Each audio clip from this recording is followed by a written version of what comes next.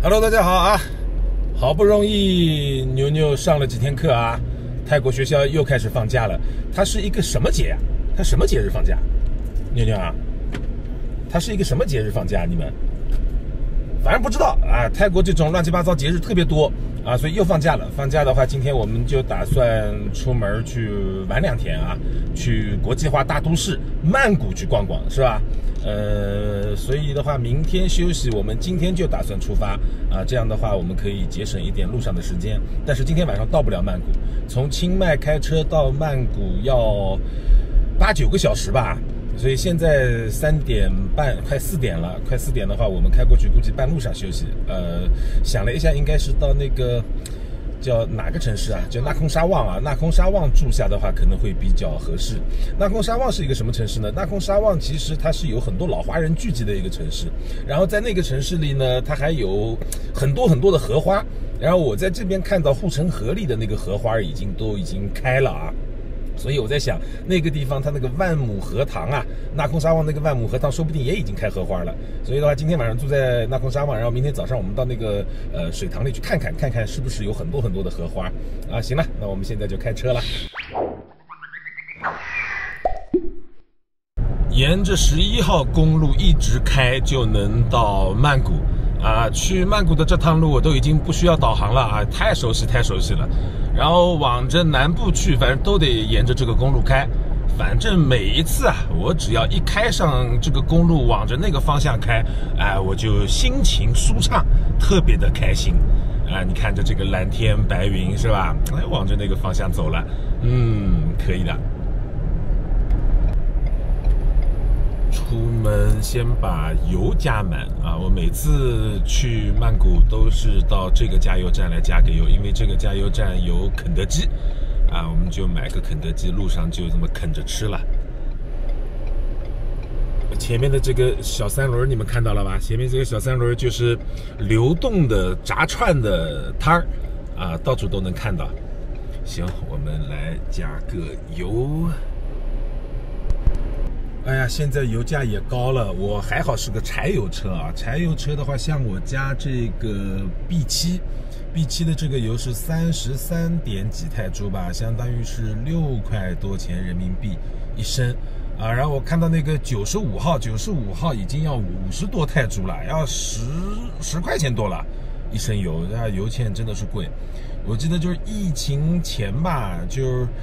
对，一九年，一九年是我最后一次去马来西亚嘛，那时候的那个油价是最便宜的，马来西亚也便宜，泰国也便宜，便宜到离谱，你知道，你便宜的到比矿泉水还便宜。我在马来西亚租了个车，然后在那儿加一箱油，五十块钱人民币加满了，我都懵了。后来我才留意到，哦，原来是油价便宜了。但是现在我估计马来西亚油价也不见得啊，肯定也上去了，肯定。行啊，加完油我们去吃个肯德基。啊，到了这个休息站的肯德基，来买一个。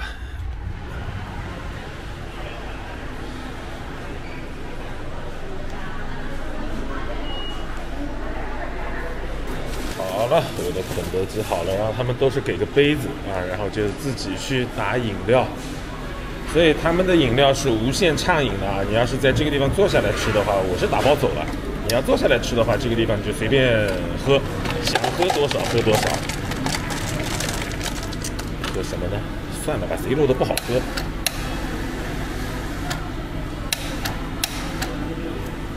啊，啃着汉堡，开往曼谷。好，我们现在转到了一号公路啊，一号公路，听听就是通往首都的公路，对吧？呃，真的是在泰国，我特别特别喜欢公路旅行。其实你说从清迈啊一路如果飞到曼谷，其实也就两百多块钱，便宜的时候一百多块钱就够了。哎，但我还是比较喜欢公路旅行。一个呢就是说，我东西不用哎都大包小包的拎着，对吧？扔在车上，车就像个移动的家，啥玩意儿都可以在车上找到充电啊什么呀，啥事儿都没有，对吧？第二呢，到了曼谷以后，确实是哎有辆车哎方便很多。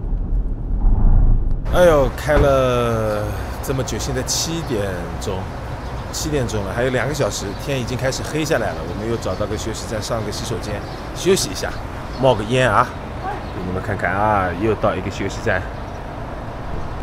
休息的差不多了，上车继续出发。哎呀，哎呀，还有两小时二十二分。到了，到了，到了。B two 这家 B two 我曾经好像来住过的是。一般来说，在泰国啊，像 B two 这种酒店就是。啊，中规中矩的啊，你说也不会给你什么惊喜，但是也不会给你什么失望。你路上如果赶路，不是说要享受啊什么的话，呃，就选择这种 B two 挺好的啊，挺干净的。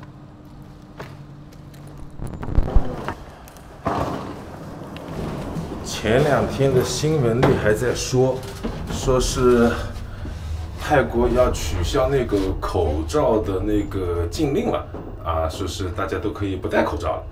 哎，结果今天那个总理又出来辟谣了啊，说是没这事儿啊，大家还是得戴口罩。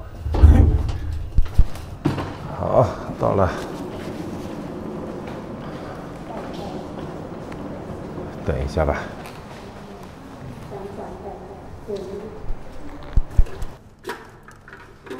他又正反了是吧？好嘞。哦，还可以房间。这房间多少钱啊？哦，一百多块。一百多块啊，哎，可以啊，挺好，挺好，挺好，一个家庭房。啊，那就这样吧，你叫个外卖，我饿了。好。啊，饿了。这么便宜哦。哎，真的是。在泰国啊，点外卖现在也特别的容易，全中文的熊猫外卖叫。特别方便啊，点起来就什么菜都有啊，反正周边啊什么跟跟国内的那个点的软件一模一样。对，然后选一个地址，你看我们住这个酒店嘛，很简单的，你把它拉过去就可以了。啊，点完了，点了一堆的炒菜，呃，结果多少钱？五百多株啊，五百多株，一百多块钱。现在是优惠，不要外送费的。啊，还免费外送的，哎，还要那个吸管要吸那个。免洗餐具，对对对，这个这个你们以后如果要买啊，一定要打勾，不然的话，他就几个塑料袋给你装过来了，什么盘子了、碗了、筷子，什么都不给你啊！你拿过来会让你疯了。提倡环保啊，提倡环保，所以你要把这个勾打上啊。外卖来喽，拿外卖去了。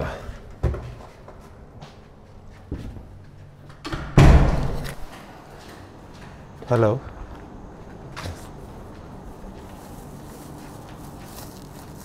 ห้าร้อยเจ็ดสิบเก้าใช่ไหมโอเคสี่ร้อยโอเคละโอเคขอบคุณครับ